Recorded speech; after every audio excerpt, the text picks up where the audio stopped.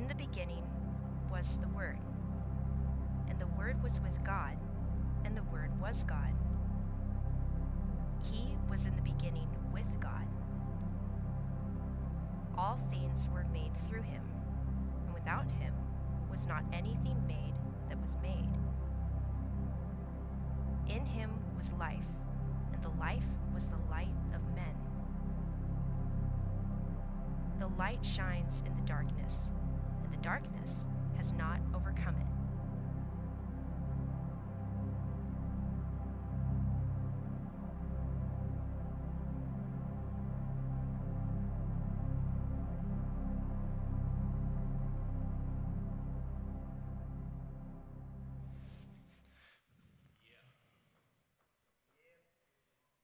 All right, good? All right, sweet, good. Let's go. Bibles out, Genesis 1, boom. Or if you brought like your Torahs, that works as well. This is gonna be good. Everyone say Tov. Yeah, Tov. Okay, it means it means good. So, like, instead of you know screaming out Amen like you normally do, um, today what you can do is just scream out Tov, Tov, like um, or you can do like they do it at Bethel and be like, oh, so Tov, Darren, so Tov, so Tov. If you're from uh, LA, you can be like, man, that dope Tov, okay? I made that up. Like, Tov means good. d- Okay, don't worry about it. Um, man, this word is dope. T- okay, all right, good. All right, so that, that's going to be good. All right, uh, so Tov, Darren, so Tov, Tov, good. Okay, is good. Um, all right, you look great. Genesis 1, Bereshit, okay, in the first epoch of, of time, okay, not, not, not in a point of time, this is, this is a period of time. So in the first period of time, Elo, Elohim, mighty God, okay, the one who's deserving of all of our worship and attention and adoration, mighty God, yeah.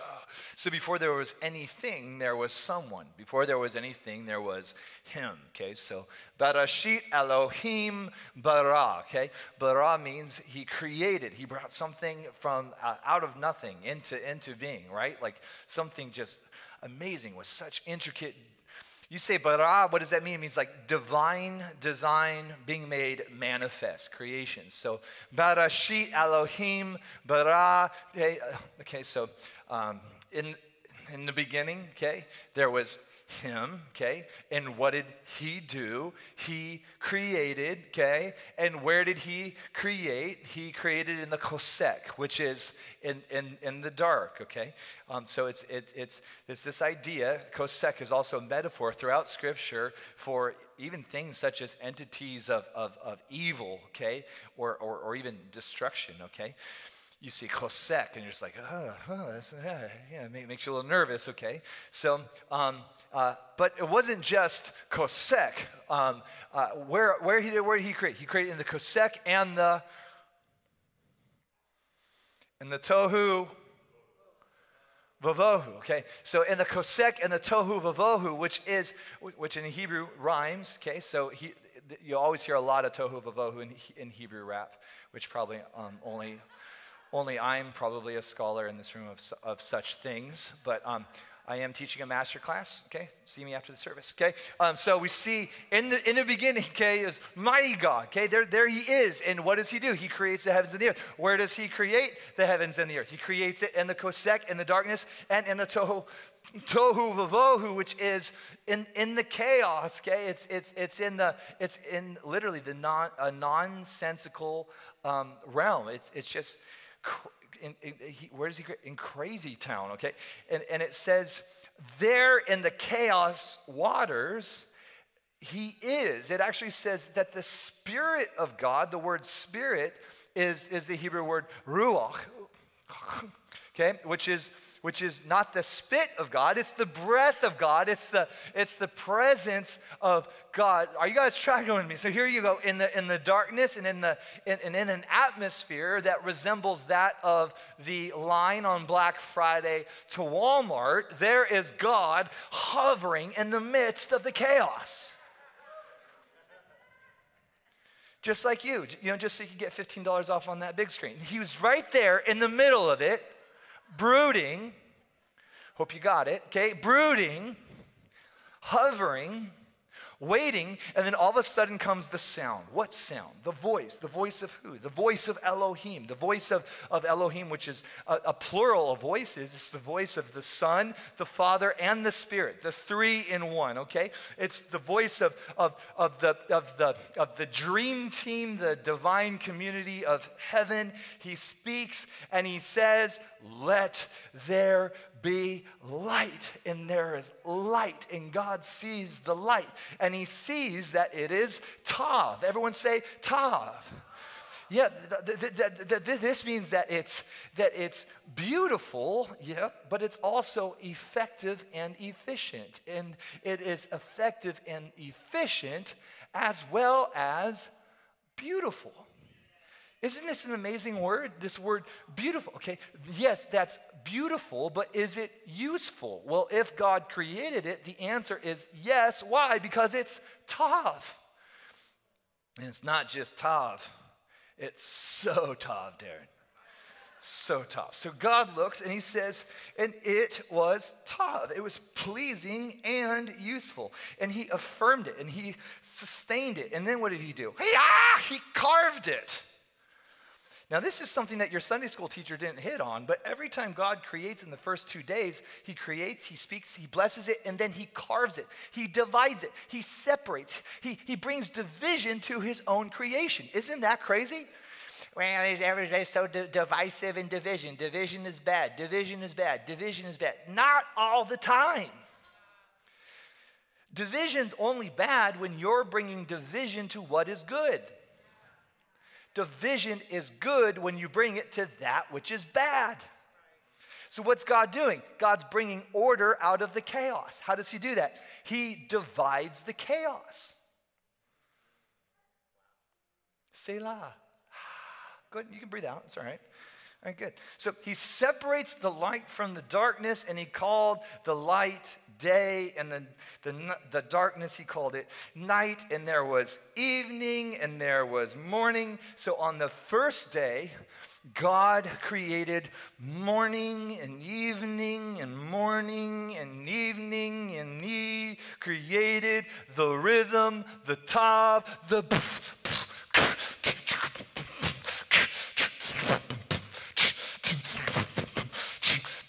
morning, evening, morning, wicked, wicked tough. Ah. The rhythm.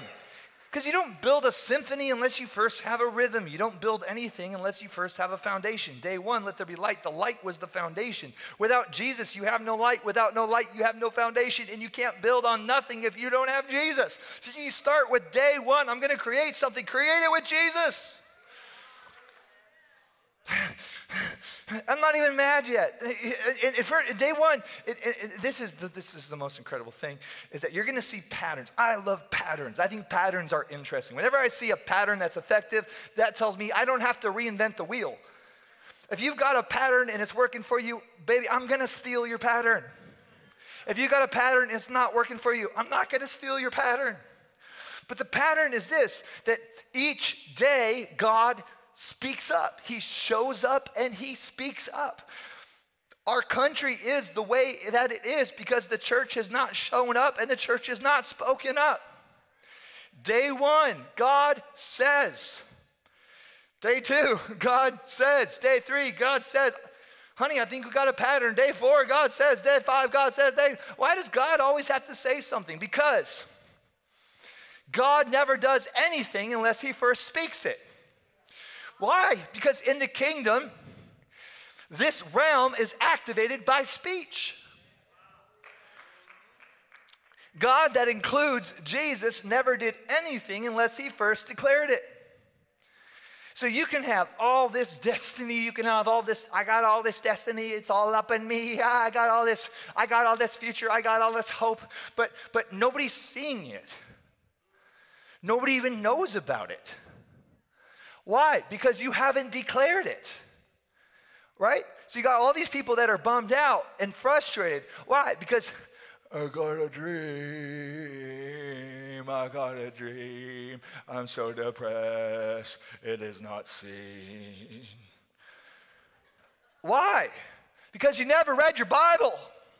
You never read that nothing gets created, nothing gets established unless it is first declared. If you're feeling it, if you're hosting it, if you're loving it, you've got to speak it. You've got to declare it. I remember when, when the Lord called me into um, ministry, I, I, I spoke. I, I, I declare. Now, I'll tell you something. Uh, there was once a period of time when I was, you're not going to believe this, but there was once a period of time when I was not a pastor. There was once a period of time that I had what's called a, a job a job. Okay? I worked, I worked for a Babylonian company called Comcast. and I was a Christian. But can I tell you something? I, I, told my, I told my employer, I told my boss, I said, hey, look, man, I don't know how long I'll be here. I don't know how long I'll work here. But you need to know that there will come a time when I leave because I've got a call to be a pastor. So I'm going to be doing my Bible schooling while I'm working for you. And this is what I told him. I said that while I'm on your team, I will be in, in the top. I will be in the top categories for sales. I'll be one of your top earners. I said, uh, but you need to know this. My intent for working for you is to make as much money as I possibly can while I'm working for you, because the day will come when that may not be the case. I told my, I just told my employer right off the bat, I said, look, I've got to call the ministry and I'm going to be a pastor. And you know, he said, great. He knew there wasn't going to be a conflict because I made a commitment that I was going to give him my best. And I did. There was only one time he had to call me up because my numbers weren't where they should be. And um, I apologized. I said that would never happen again. And you know what? It never happened again. What's the point? The point is, if you've got a destiny, which you have, trust me, you're not a mistake. God created you, there's something big in you. And here's the thing um, you're not doing any favors and not talking about what God has put inside of you. He has put, God has carried something in His heart, He's deposited it in your heart. And when you see it, you need to sing it. I got something in me, I know my identity, I've got a destiny. You might find me annoying, but I'm going going somewhere. Do you want to go with me? Look at the person next to you say, I'm going somewhere. Do you want to go with me? Because the people in your life, they need to hear from you. They need to hear from you. What do they need to hear? They need to hear what is in you. Whatever's inside of you, you need to begin speaking it. Why? Because if you don't speak it, I promise you, you will not see it. If you don't speak it, I promise you, you will not see it. And the reason why you have not seen it is because you have not spoken it. On day one, he spoke it. On day two, he spoke it. On day three, he spoke it. He spoke it, he saw it, he blessed it, he separated it, he brought identity, and he said, It is Tov. I'll tell you what's inside of you. It's Tov but it needs to get exported. I'm telling you, every single person in this room right now has a destiny that needs to get exported. And I'm telling you, it's Tov. And here's what that means it's useful and it's beautiful. And it's beautiful and it's useful.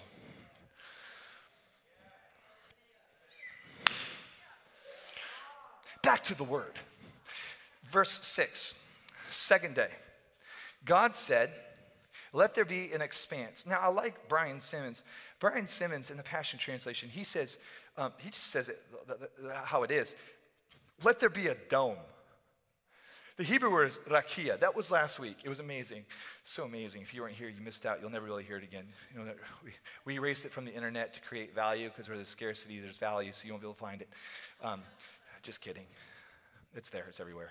It's worthless. So God says, let there be a dome, which is a, rakia, okay, we'll just keep reading, in the midst of the waters, and it separated the waters below the expanse. And from the waters, from the expanse, um, God made the expanse of the sky and separated, everyone say separated, okay, the waters which were under the expanse from the waters that were above the rakia, above the dome, and just as it was as he commanded. And God called the rakia heaven, and there was evening and there was morning on the second day. So on day one, God said, Let there be light. The light brought forth a rhythm. He carved it and he separated it. There was morning and there was evening. And you're going to hear that with each day. God creates, He speaks, He blesses it. He says, It is, it is Tov. And then it ends, there's evening and there's morning. Evening and morning. Day two, let there be a rakia, which brings a separation of the waters. Part of the waters go up, part of the waters go down. We've got the sky above, we've got the sea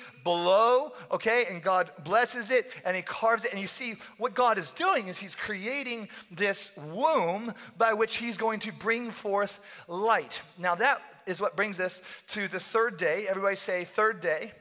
And this is our text for today. Now, thank God for the third day, because if it hadn't been for the third day, we would all have to be very, we'd all have to be basically created in the image and likeness of Michael Phelps.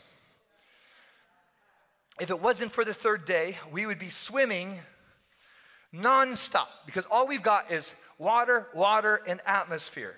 So just trust me on this one. Thank God, okay, for the third day, okay? And God said, Oh, there, there it is again. Look at God speaking up. He's showing up, he's speaking up. And God said, Let the waters under the heavens be gathered together into one place, and let dry land appear. And it was so. Now, I like David, okay? David is this prophet minstrel who goes into these high places of praise and then begins to get revelation while he's singing, okay? Now, when David is singing to the Lord in Psalm 104, he begins to bring about revelation into the third day. And I want you to see how David sees this third day playing out. He says to the Lord, You covered it with the deep as with a garment. The waters were standing above the mountains at your rebuke, they fled. So it's almost like you got all these waters, but they got ears. And then God comes and rebukes the waters, and they and they they scatter like mice. And at the sound of your thunder, they scurry away, the waters. At that same point, the mountains begin to animate and begin to come up and out of the ground, up and out of the water. And as the mountains are coming up and stretching up towards the skies, and as the waters are scurrying away, valleys began to sink down low. And David says that this is the place that you have established for the valleys, the mountains, the waters. Here's God again bringing order out of chaos and putting everything in its right place, then David proclaims, God, you have set a boundary for the waters that they may not cross over, so that they uh, will not return to cover the earth. This is, this is, this is, this is phenomenal. That in, in, this, in this third day, light and darkness separate, bring, bring, come into the waters and separate the waters now we've got this womb, and then in this place, land and earth begin to come up and begin to carve out into the skies, and then begin to carve down to create the valleys, begin to carve out the boundaries where water will be allowed to go and where it cannot grow and go on the third day. Now, when I drove to the service today with, with Peter, my son, I, that's what I call him, by the way, Peter, my son we were, we were driving to the, to the church and we saw um, what I called as a child Mountain Rainier. Okay, so it wasn't Mount Rainier, it was Mountain Rainier. So we were driving to church today and we saw Mountain Rainier. Here's what's fascinating about Mountain Rainier that when you see that mountain or you see Mount Baker, Mount Adams, the Olympic Mountains, um, when you see these things, you are seeing the result of the proclamation of God from the third day, because on the third day, Mountain Rainier began to come up out of the ground and began to stretch forth up into the high, the higher parts of the Rakia. The mountains began coming up and carving their way up into the heavens. When you look at Mount Rainier, you are seeing what took place on the third day. Mount Rainier or any of the mountains, any of the valleys, any of these things take you back to what God spoke into being on the third day. Mountains are so tough. They're so tough mountains, they, they cover 26.5% of, of the earth. In fact, out of 237 countries, 197 countries include mountains. Now, here's the thing. Here's, okay, I know what you're thinking. I, I, you're thinking, okay, yeah, they're so tough right? So they look cool. They're, they're majestic, but they're beautiful, but how are they functional? Yeah, well, thanks for asking. So mountains, okay, are, are actually are water towers. So God has provided actual literal water towers for the majority of the countries on his earth. Why? Because he created the earth with life in mind, with creating and sustaining life in mind. In fact, 60 to 80% of all fresh water on our planet comes because of these water towers that God created that are functional and efficient, but they are also beautiful. That is why I just don't have enough faith to be an atheist. I mean, when you look at the high powered telescopes that we have right now that can look out into the cosmos at all of these planets, at all of these places, and the whole time they're looking for life on other planets, right? They're looking and looking, and, and, and they can't find, like these, like these, these planets, even if they were to put life on these planets, they would incinerate, they would burn up. Like the only way that they're going to be able to get life on Mars is to completely terraform the planet, and um, which they think they can do, but they would literally have to manipulate the fabric of the planet in order to sustain life. And in the process, they're going to kill a lot of people. So the only way that they could ever get life there is to kill a lot of things and people. But Earth doesn't need to be manipulated. Why? Because the Lord has given us a planet that is perfect. No, no, no, hold on, hold on, hold on. Do you even get that? Do you even get that for a second? We are living, there, trust me, there, trust me on this one. There are a lot of planets. I Googled it. There are like, there are like more planets than stinking numbers, okay? All right? And out of all the planets, and out, out of everywhere, okay, there's, a, there's at least 100 stinking planets. And out of all those planets, we are on the perfect one. Like it is perfect. Like he put water towers in almost every country. And they look cool.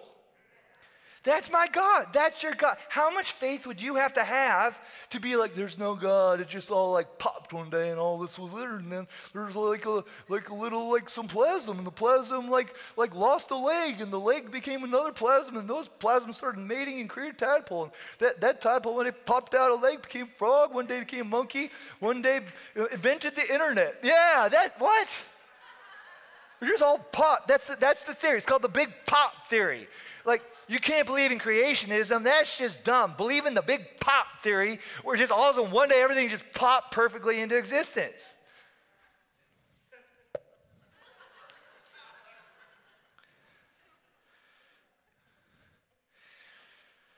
Half of the world's population depends on what? Mountains. Why? They provide an ecosystem for survival, for not just water, but food and even energy. How many you know I didn't do this in the nine o'clock, but since you guys are my favorite, yeah, I, I do tell all the services that. We, we do um, Mount Ararat, right? This is the place where uh, Noah's Ark came down and set down on what? On top of a mountain, Mount Sinai, kind of a big deal. God's crazy glory, fire presence comes down and cuts out and a covenant with Israel. God himself is sitting on what?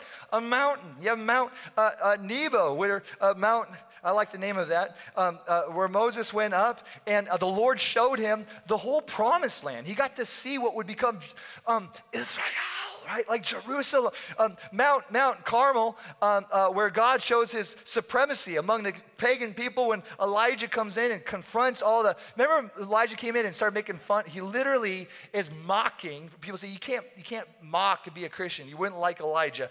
Uh, he's literally mocking the false prophets as the fire of God comes down and burns up wet wood. Where did that happen? On a mountain, right? You have Mount Moriah that would get rebranded and remarketed and become known as Mount Zion. Pretty big. Mount of, Mount of Olives, which is also the Mount of Transfiguration, right? Which becomes a, a or that was Mount Hermon, right? The Transfiguration. Anyways, my point is mountains are cool. That's my point. Mountains are really cool. If, if you go, if you tell your friends, well, we went to church today. What'd you learn? We learned that um, mountains are really cool. and they're created on the third day. What else did you learn? Well, we learned a lot about dirt. That's coming up. I told our activation school, I said, well, I got to go preach a sermon on dirt. And somebody yelled, uh, was that you, Frank? Somebody yelled, keep it clean. And I was like, oh, hey. Okay. Verse 10 God called the dry land, everyone say dry land, earth, okay?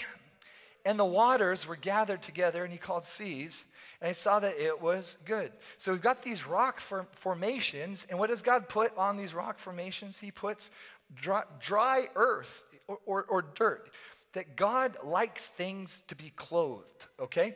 So God comes to these rocks and he clothes them with, with dirt, with, with, with earth earth. And the problem with the word dirt is immediately we think of things being dirty, right?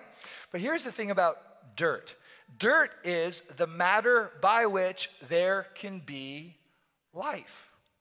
Now, God, He thought of everything. He creates the rocks, He creates the valleys, He clothes it with, with, with earth. And here's the thing about earth earth begins to create itself why? Because dirt is actually a living organism. Why? Because it's composed of living organisms. So that when things live and then they die, they decompose and their matter returns back to the earth where it can make future life possible. Is, is this incredible? It's almost as if somebody brilliant was behind this. Okay? But not only that, dirt is so exciting. Dirt also, I hope you're taking notes, acts as a filter for water, right? Fresh water travels through the soil, it goes down, um, and, and as the water is going through the soil, it gets more pure and more pure till it gets to these underground um, aquifers. And that's where it's stored and we drill our, our wells and some of you have wells and some of you have really great really great water this these underground water wells these big mountain water tanks they weren't created by dudes they were created by god because he loves you and i and he wanted a place that would be the perfect place for his sons and daughters our father thought of everything because our Father is so, so tough. Now, here's what's interesting that on this particular day, on the third day, it's different from the other days. Why? Because on, on the other days, God just said one thing. God said, let there be light, right? And God said, let there be a rakia, the two days. But on this particular day, on the third day, God actually does two executive orders. He signs into power two different executive orders. So we see on this day, we've got the mountains, the valleys, we've got the earth. But then what does he do? He actually comes in to clothe what he just created. He even goes more extreme because God's going to say something again. When we get to verse 11, he speaks up. This is like each day it says, and God said, right? Day two, and God said. But on day three, God says the God said twice. That brings us to verse 11. And then God said, Let the land burst forth with growth, plants that bear seeds of their own kind, and every variety of fruit tree, each with the power to multiply from its own seed. And so It happened. The land flourished with grasses, every variety of seed bearing plant, and trees bearing fruit with their seeds in them. And God loved what he saw, for it was beautiful. Evening gave way to morning, the third day.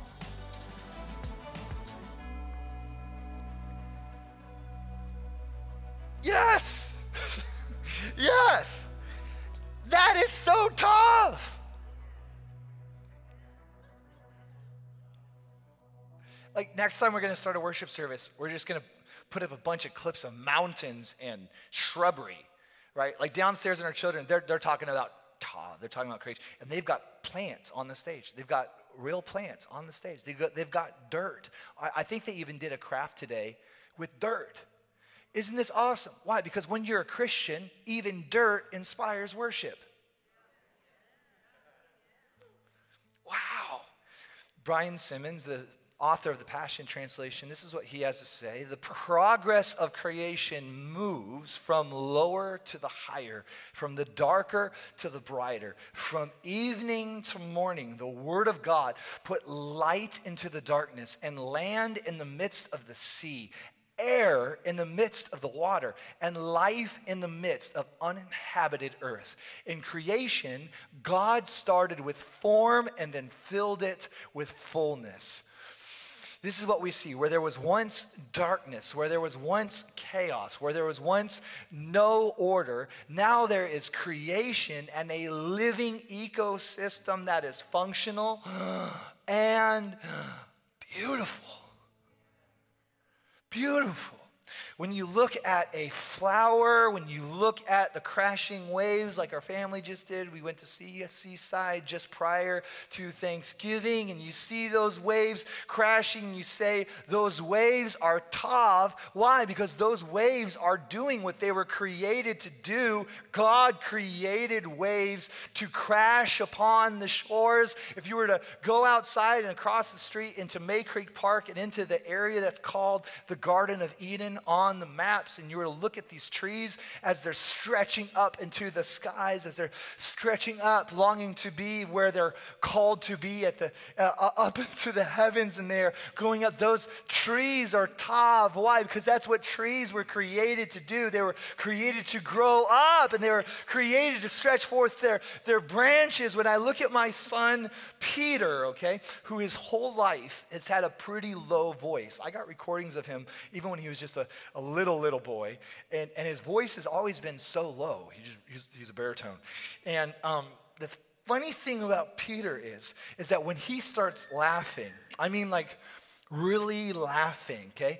Um, uh, he, when he kind of loses control when he's laughing, his voice goes from being a low baritone voice to being a real high, high, high voice. And, and, and, and he's just laughing uncontrollably. It's this real high, high, high laugh. And when he laughs like that, it's, it's so euphoric for me. When I hear him laugh like that, a part of me just settles back and settles in. Why? Because that is so tov. Little boys were created to laugh uncontrollably uncontrollably to be able to enjoy environments with their, with their family. That anytime you look and you see anything from a tree to a wave to our incredible mountain Rainier, you see something that is tov because it takes you back to the beginning. It takes you back to your origin point. It takes you back to the thing that really, really, really matters, and that is for God so loved the world that he sent his only begotten Son to redeem you, to restore you, and to awaken you to your identity and to the reality that regardless of what your parents told you, you are not a mistake. That in eternity past, God knew you, He formed you, that before all of this, before even mountain stinking Rainier, He knew my son Peter, He knew him intimately, and at the perfect moment in human history, God sent Peter's spirit into the womb where he began to weave together the DNA of Darren and the DNA of Andrea, weaving together this beautiful boy for the earth. And Andrea and I have the honor of stewarding the soul, the spirit, and the body of this beautiful boy, knowing that he is a gift from God. And that boy's so tov. He's beautiful and he's functional and he's, he's, he's, he's learning new things all the time. In many areas, Peter's far smarter than I am. But I could still beat him up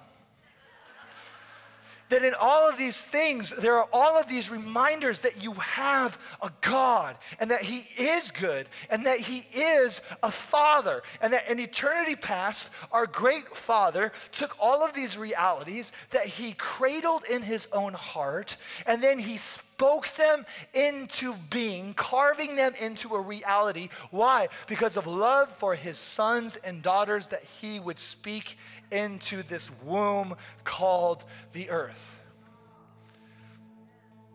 I was at activation school uh, this morning at our at our hangout, and we were we were talking, and and um, and and I was I was getting to ramble for a little bit, and and I was and, and we were just kind of talking through some things, and and I think one of the things that the church is is waking up to is that we've got to get away from this idea or theology or belief system that says the earth is evil and we need to get the heck off this thing because this earth looks so much like hell. We need to get away from that idea. Why? Because Jesus said, when you pray, pray this way Lord, let your kingdom come. Father, Holy Father who art in heaven, you know, let your kingdom come. Let your will be done. Where?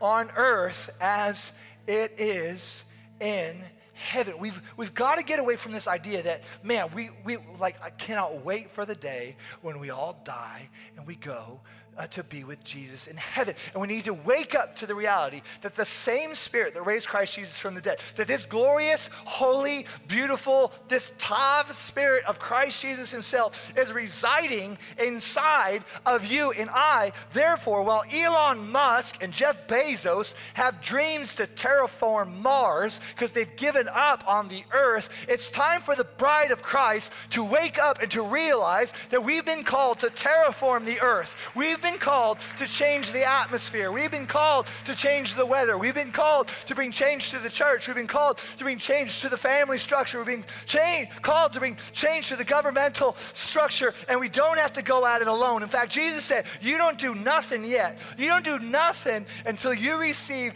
the great power from the Helper, which is glorious Holy Spirit, because He'll be inside of you and He will help you and He will reveal to you all truth and He'll convict you of sin and he'll show you what you ought to do. And he'll give you dunamis power, super violent, supernatural ability to do what you could never do in and of yourself. You guys, the Lord is taking us to the future by taking us back to the past because the blueprint is in Genesis 1.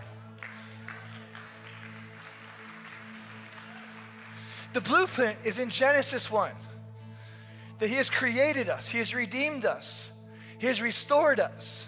Because redeemed people bring forth redemption, and restored people bring forth restoration. And God has redeemed us and restored us to bring forth redemption and restoration of not just people, but all nouns, people, places, things, cities, communities, and even the environment. I think it's so sad that the environment is so political. Why? Because whatever becomes political just becomes a big mess. Politics just goofs everything up. You know what the environment needs? Government. And where do you find undefiled government? In the heart of God and in the kingdom of God. I'll tell you what our environment needs. You know, greenhouse gases, global warming, or no global warming. We need a kingdom people that will say, This is my rock, this is my earth, this is my planet, and I'm going to take care of it more than any Republican, more than any Democrat. This is mine. I want the keys back. I'm sorry, the tree huggers don't get the keys. Why? The keys have already been given to the sons of God. Now, my Bible, I don't know if your Bible says this, but my Bible says that all of creation is groaning and waiting in a state of travail for the sons of God to be awakened to the reality of who they are, where they are, what they've been called to do. And I can't help but think that to a great degree, most Christians in America have been duped into thinking that Christianity is where you attend church on Sunday, you don't drink, you don't chew, you don't hang out with those who do, you vote Republican, you eat bread with lots of seeds in it. You recycle, you be moral, okay?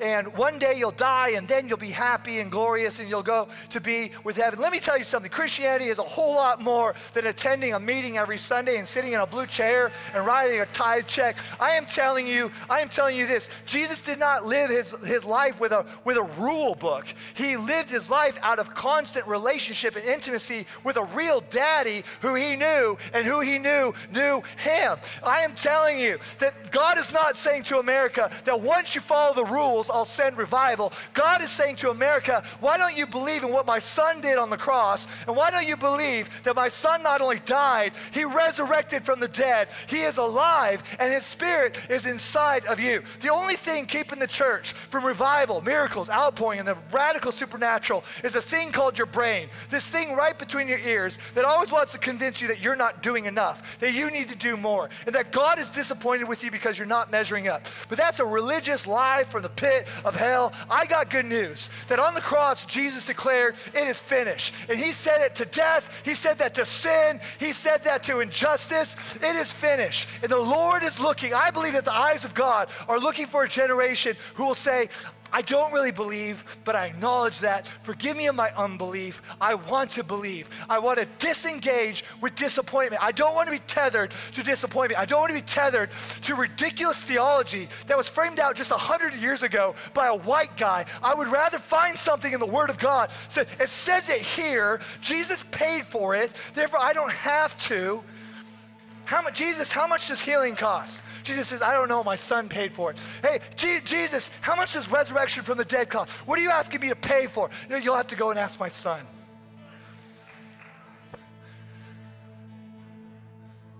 The eyes of God are searching the globe for a generation that says, I believe for such a time as this, God has called us to bring order out of the chaos, to bring light out of the darkness, to bring division where there's madness, and to make some sense out of all of this. It's going to take a body. It's going to take a people. It's going to take a company. It's going to take a people that are not just connected in the natural, but that are connected to the spirit. It's going to take a people that say, hey, hey, God just told me, yeah, well, what's funny, he just told me the same thing. Yeah, because we got the same God. Hey, Pastor Darren, I need to say this. I need to say this right now in the service in the microphone. What's he saying? Yep, I already got that. And everybody else that's listening, they got it too. Why? We got the same God. We've got the same dad. We've got the same Lord. And that's why He's gathered you and I together for such a time. You do not need my permission. I cannot be your Savior. SRC cannot be your Savior. I cannot be your middleman to get to Jesus. This church cannot be your middleman. You are going to have to know Him for yourself. You're going to have to open the Bible for yourself. You're going to have to search the scriptures for yourself. Does Genesis say any of this, or is Pastor Darren just making it up? You're just going to take my word for it, or you're going to open your Bible and search the Word. What does the Bible say, and what is God telling you in it? I'm t- God's saying one thing to me, He wants to say one thing to you. We're, we're, going, we're going the same place, but you've got to carve out your faith for yourself. I don't know what, what's coming next year. I believe some good things are coming next year. I believe some crazy things are coming next year. I think some glory is coming next year. I think some freaky deaky demonic stuff is coming next year. And this is what I know. You're going to have to know God for yourself. You're going to have to have your own faith. I'm telling you, your mommy's faith is not going to cut it next year. And you don't want your mommy's faith to cut it. You need your own faith. You need to know who God is. You need to know what his voice is. Will it be easy? I doubt it. Will it be hard? Most likely. Will it be worth it? I promise you. So if you are willing to say, yes, God is calling me to bring forth environments that last, environments that are fruitful but are also beautiful. I want to make a covenant with my beautiful God, to partner with Him, to see things that are beautiful and effective and efficient. That I want my life to be about bringing forth creative, elegant, beautiful things and beautiful people. I want to give my life to that. If, if you're here and you're like, I'm kind of done with religion, but I'm all about the Tov. I'm all about making, you know, you know, presidents and, and these guys, we're going to make America great again. We're going to, you know, like, what does that even mean? America doesn't need to be great again. The earth needs to be Tov again. Because when I look at America and when I look at our country, and when I look at our systems, it is not Tov. It is not driven by the fuel of love. It is driven by the fuel of vanity and selfishness. It is time for a kingdom company to do the right thing, not because they want Instagram likes. They do the right thing because they've made a covenant with the heart of God that He is cradling realities that He wants to carve and release. But the only way He speaks onto the earth these days is through His sons. Isaiah said it like this the prophets will, will declare a thing and it will be established. It's time for the church to come up into their identity as kings and priests because we've created a lot of non we've the church is responsible for more kosek environments the church is responsible for more tohu vavohu environments in america than we are for tov environments and it's time for us to be able to discern to discern between the tohu vavohu and the tov. Because as for me in this house, in your house, in my house, as for us in our environments, as for us in our souls, we're all about the tov. It's so tov. Okay. Jump, jump, jump onto your feet. Uh. I'm going to declare the tov of God over your 2022. I want you to brood in 2022. Is that good? Our God hovers over time and over space. And I want you to ask the Lord to speak into your new year. I want Him to speak into your next year. And we're going to frame it now. We are not going to be victims of tragedy next year. We're going to forge victory into the year. Get comfortable assume the position.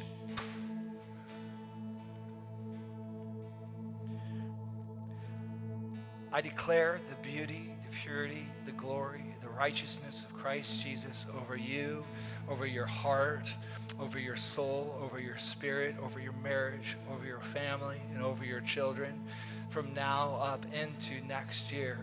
And I declare the Tov, which is the justice of God, which is the peace of God, which is the, the shalom of God, which is the prosperity of God, into every drawer, into every closet, into every area of your life that in any sort of corner where it's felt like things have been out of control, I see the living, breathing spirit of self control coming into your life to regain control and to regain the atmosphere and dynamics of your home that have been just outside of the light.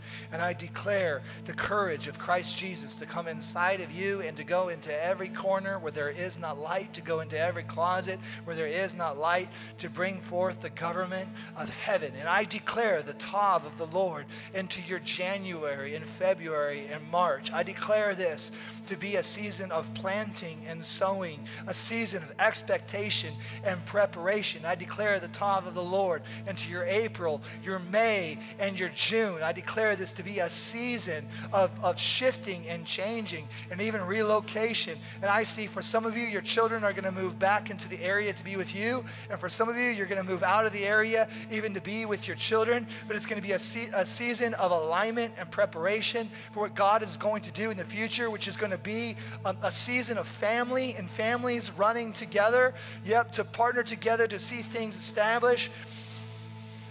I declare into your June and your July and your August the Tov of the Lord, a season of launching, a season of, of, of sending, a season of refreshing, a season of rest. And even things that you lost in 2020 and 2021, even things that, that, that, that felt like they were removed from you, even dreams that felt like they shattered and you wondered if you had missed it. I see the summer months being a time of restoration, that God is going to restore what the enemy thought that he had successfully stolen. And I see restoration and recompense. I see you going into the fall. And I just declare to the September and October and November, I just declare in that time an expectation, uh, yep, yep, yep, yep, yep, of, of, of, of domination. And I see promotion. And I, I don't mean evil, tyrant domination. I see this place of, of executing kingdom realities with a fresh authority because of what you learned in 2020 and 2021. I feel like the Lord says, I have tested you, I have tried you in these previous seasons. For many of you, you felt like you were going through a fire, but during this time, even from a year from now, that you're going to be in this place where you've been tested and you've been tried, and gold will remain. And the Lord says, for many of you, you'll step into a place of promotion because of the severe testing and the, and the trials, even of your faith, even in, in 2020 and 2021. And I see you coming into a place of manifestation. I see you coming into a place of promotion. I see you coming into a place of the word uh, that does domination, this place where you take dominion.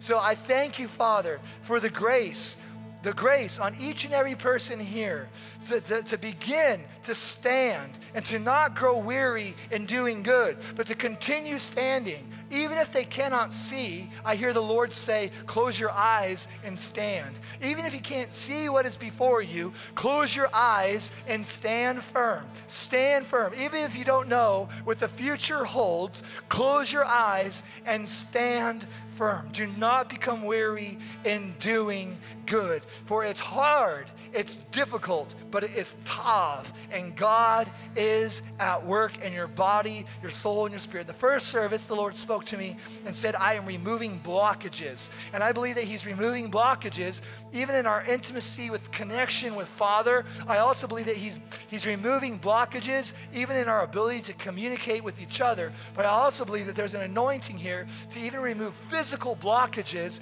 even in people's arteries and even in people's hearts. So I declare right now, even in this room, the people's hearts are being healed of emotional issues and damage, but even, um, even uh, people's hearts are being healed, even from heart attacks that they've suffered in the past, that even blockages in people's arteries and veins are being healed right now. Go, God. Go, God, right now, right now, right now, right now, right now, right now, right now. Flush it out, flush it out, flush it out, flush it out. I declare even plaque in people's arteries that disappearing by the grace of God. It would not even stay in the artery, but it would disappear, that it would disintegrate right now. And I just declare you're going to need a healthy heart where God is taking you, where God is bringing you in these next days. It's going to require an emotionally free heart and a strong physical heart. And now we declare to the heart of Seattle Revival Center, we declare, Peace be unto you in the name of our Lord Jesus Christ. We remove and break all trauma